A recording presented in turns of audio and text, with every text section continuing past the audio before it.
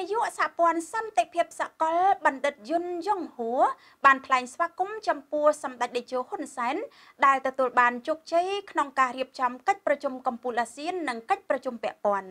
ប្រសាសន៍ថ្លែងស្វាគមន៍នេះបានធ្វើនៅក្នុងឱកាសដែលសម្ដេចតេជោបានអនុញ្ញាតទទួលចូលជួបសម្ដែងការគួសមនិងពិភាក្សាការងារនៅវិមានសន្តិភាពនៅព្រឹកថ្ងៃទី20ខែធ្នូឆ្នាំ2022 កិច្ចប្រជុំកំពូលអាស៊ានលើកទី40ទី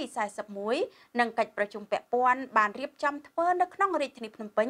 រវាងពីថ្ងៃទី11ដល់ថ្ងៃទី13ខែវិច្ឆិកាឆ្នាំ2022ដោយមានការវាយតម្លៃពីគ្រប់អ្នកចូលរួមទាំងអស់កោតសរសើរថា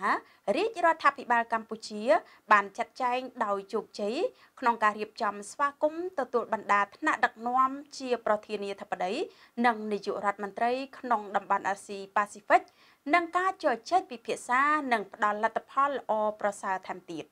បណ្ឌិតយុនយ៉ុងហួរបានថ្លែងអបអរសាទរចំពោះសម្ដេចតេជោហ៊ុនសែនដែលបានរៀបចំនិងដឹកនាំកិច្ចប្រជុំកំពូលអាស៊ានកិច្ចប្រជុំពាក់ព័ន្ធនិងកិច្ចប្រជុំអាស៊ីអឺរ៉ុបប្រកបដោយភាពជោគជ័យយ៉ាងត្រចះត្រចង់បណ្ឌិតយុនយ៉ុងហួរនៅបានគោរពជំរាបជូនសម្ដេចតេជោអំពីដំណើរការគៀងគរការគ្រប់គ្រងធម្មនុញ្ញសន្តិភាពពិភពលោក និងគម្រោងសួនសន្តិភាពមេគង្គនិងក៏បានគោរពសំអនុសាសន៍ដ៏ខ្ពង់ខ្ពស់ពីសម្ដេចតេជោពាក់ព័ន្ធទៅនឹងករណីនេះផងដែរ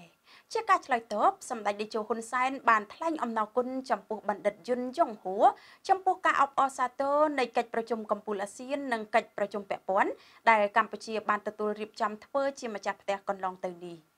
សម្ដេចតេជោបានមានប្រសាសន៍ថា កិច្ចប្រជុំអាស៊ានកន្លងទៅនេះគឺមានបញ្ហាចាក់ស្រេះគ្នាយ៉ាងច្រើន តែទោះជាយ៉ាងណាក៏ដោយ កម្ពុជាបានដោះស្រាយបានទាំងអស់ហើយបានចេញឯកសារទាំងអស់ទាំង101ឯកសារ